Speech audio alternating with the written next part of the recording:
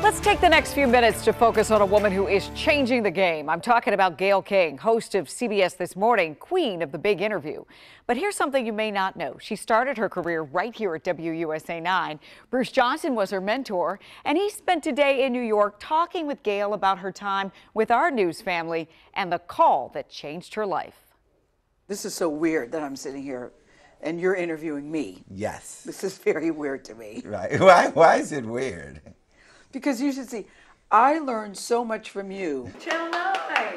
She's at the top of her game today, but I can recall Gayle King started at Channel 9 while still a student at the University of Maryland. So I started as an entry-level production assistant, and during that time I went out on I went out on stories, sometimes with you. She was selected into our reporter trainee program, which has sent dozens of minority and women reporters out into the world. On many a day, Gayle was assigned to shadow me into D.C. streets and corridors of political power.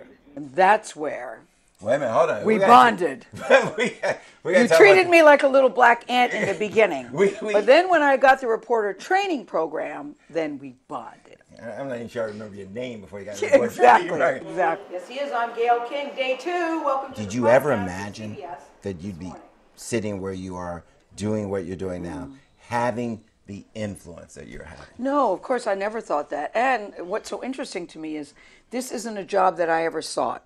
I was really happy. I love local news. I still love local news. I think it's the best training ground. I was in Connecticut. I was there, an anchor there for 18 years, in Kansas City for three years.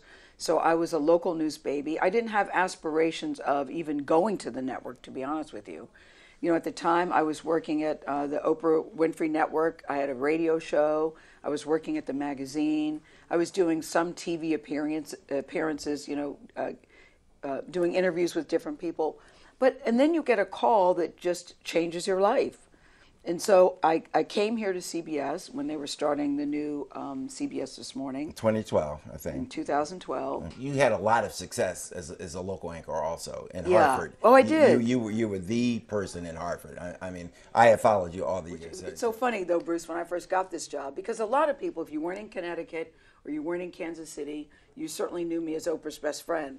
And so when I first came to CBS, we would get mail that said, Wow, it's amazing how quickly Gayle King has caught on to this TV stuff. wow, she's really learned a lot Right, in such a short time. And I wanted to say, I've always had a job. I've always had a job. right. Oprah's best friend. Did that ever bother you? No, I mean, and it still doesn't bother me. There's still a lot of people who know me that way because I, I say this all the time. I don't see myself standing in her shadow, I see myself standing in her light.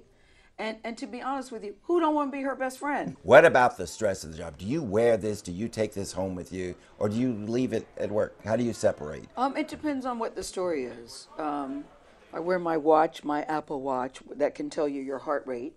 Um, but you know, I don't tend to take it home. I think about it a lot, but I don't sit and, and ruminate about it. I worry, this is what I worry about. I worry about the divide in this country. I worry about that. I don't worry about the stress of the job. I worry about what is happening to us as a country, that we are more divided and more polarized than we've ever been. That worries me, but I don't tend to take that home. I mean, I feel really privileged and honored to be here. It's a big responsibility. I never ever take it for granted, and I don't take it lightly. Well, that'll do it for us. We'll see you tomorrow. Take it easy. I still absolutely love everything about it.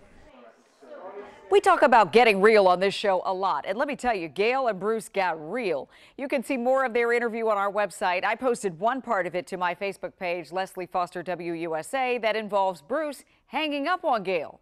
Seriously. Now, this was all part one of their conversation. We'll have part two tomorrow and look for some clips early on your social media feeds. And then Bruce will be here with me tomorrow night on the news at 11.